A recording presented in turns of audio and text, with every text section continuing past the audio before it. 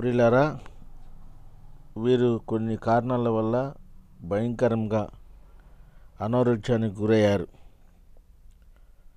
రెండు వేల పదహారు నవంబర్ నెలలో చివరి వీక్లో దైవజనులు పీటర్ గారి యొక్క చర్చికి వచ్చారు.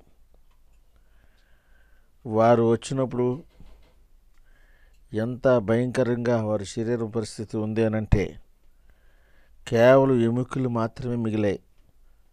మాంసం అంతా క్షీణించిపోయింది. వారు కూర్చునేటప్పుడు దుమ్ములు కిందను తగలడంతో చాలా నిప్పొస్తుందని బాధపడేవారు. అలాంటి భయంకరమైన పరిస్థితుల్లో ఉన్నటువంటి గోపి గారును దేవుడు తన అద్భుతమైన కృపచేత బాగు చేసి నవంబర్ డిసెంబరు రెండు నెలల్లో దేవుడు అద్భుతంగా లేపి జనవరిలో మరలా తన విధి నిర్వహణలో ఉద్యోగంలో జాయిన్ అవ్వడానికి కృప చూపించారు.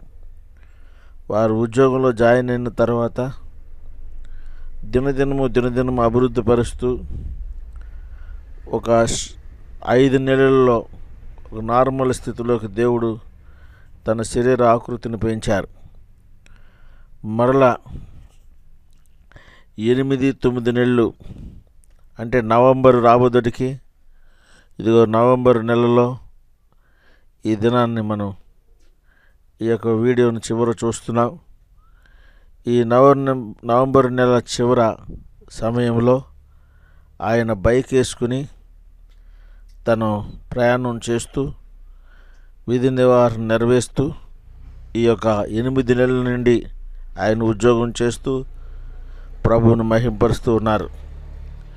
ఈ గొప్ప అద్భుతమైన సాక్ష్యము ద్వారా మనం తెలుసుకోవాల్సిన విషయం ఏంటంటే ప్రభు అయిన యేసు తన కార్యములను మానవ జీవితంలో నెరవేర్చడానికి యేసు క్రీస్తు నిన్న నేడు నిరంతరము ఏకరీతిగా ఉన్నారు ప్రియులరా.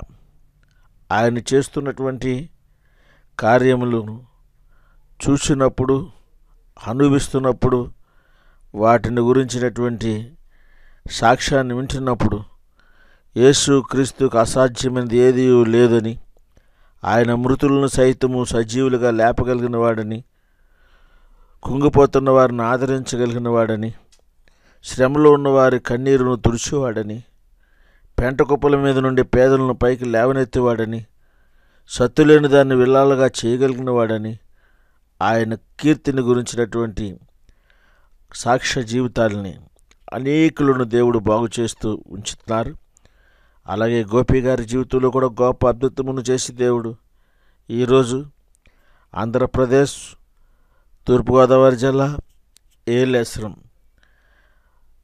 పోలీస్ డిపార్ట్మెంట్లో హెడ్ కానిస్టేబుల్గా ఒక ఉన్నతమైనటువంటి ప్రభుత్వపు రంగంలో ఉద్యోగం చేస్తూ తన జీవి విధి నివారణను నెరవేరుస్తూ దేవుని మహింపరుస్తున్నటువంటి గోపి గారిని ప్రభు దీవించాలనుకుంటూ వారిని బట్టి అనేకులు మహిమ పొంది అనేకులు దేవుని మహిమను కొనియాడేటట్లుగా ప్రత్యేకమైన కృపతో దేవుడు నింపునుగాక. ఆమెన్. ప్రకాశంలో పనిచేస్తున్నాను. గత one year one year back నా ఆరోగ్య పరిస్థితి బాగోక సాగుబోతు సాగుబోతుల మధ్య ఆ, కొట్టి ఆడుతున్న సమయంలో కొట్టుమిట్లు ఆడుతున్న సమయంలో ఉల్మేశ్వరం పాస్టర్ అయ్యే దగ్గరికి వెళ్తే అక్కడ పాస్టర్ గారి ప్రార్థన ద్వారా ఆయన యొక్క స- దేవుని సన్నిధిలో నన్ను మొరపింప చేసి ప్రార్థన చేసి ఆయనకున్న ద- దైవ జ్ఞానం బట్టి దైవత్వాన్ని బట్టి నన్ను లేవనెత్తి మళ్ళీ నన్ను ఇంత వారిని చేశారు. ఈరోజు నేను ఆరోగ్యవంతుడిగా ఉండి నా ఉద్యోగ నిర్వహణలోను నా భార్య పిల్లలతో ఎంతో హ్యాపీగా సంతోషంగా ఉంటున్నాను. వాళ్ళు